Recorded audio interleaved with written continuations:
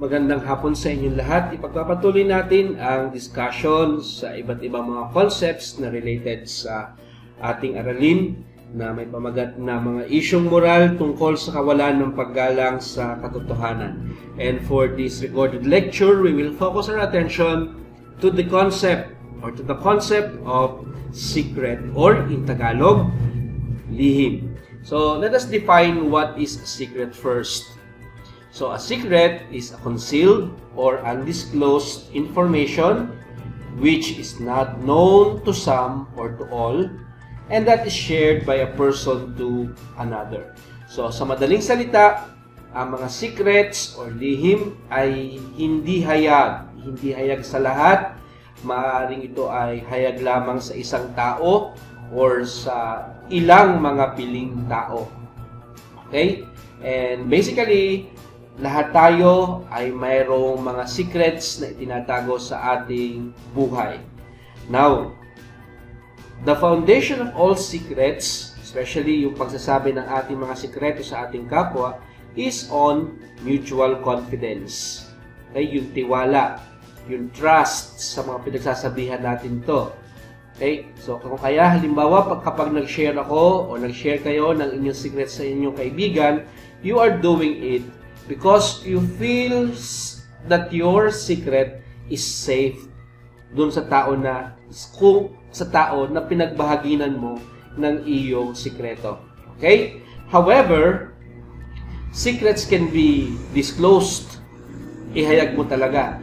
But in some instances, okay, may mga sikreto tayong nalalaman or na na nalalaman natin through unjust means. Diba sa mga telenovela sa Pilipinas, yung bigla ka nakinig sa usapan, etc., etc. Now, the, the, the only just way for a secret to be communicated to you or to be known by you is when it is shared by another, by the person owning the secret. Now, all other means are unjust means of obtaining this secret. Now, isa pa sa mga katangian ng secrets is that you, when it is revealed to you, when it is revealed to you, you cannot just divulge the secret to anyone. Okay, hindi mo basta ito pwedeng sabihin sa ibang tao.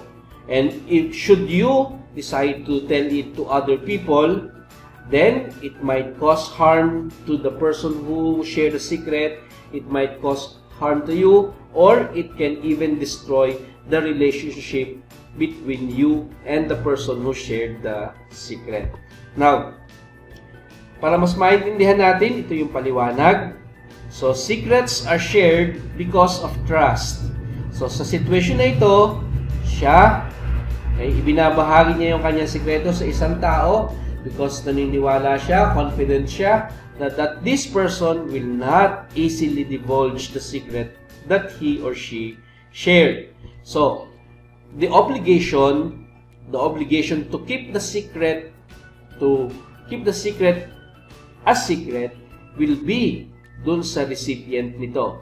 Kasi ibinahagi na niya sa kanya, so ang responsibilidad na manatiling sikreto yung ibinahaging sikreto ay nasa tumanggap ng respeto na ito. Okay? A secret must never be revealed. So, when a person shared to you a secret, kahit pa yan ay napakaliit na sikreto, kahit pa yan ay tungkol lamang sa crush, kahit pa yan ay tungkol lamang sa gawa ng gupit ng piso, you must not reveal a secret that was shared to you. However, okay, narito ha, unless there is a grave reason for doing so. Kinakailangan kung ibabahagi mo ang isang sikreto na ibinahagi sa iyo ng iyong kabarkada, kinakailangan may napakalalim na dahilan.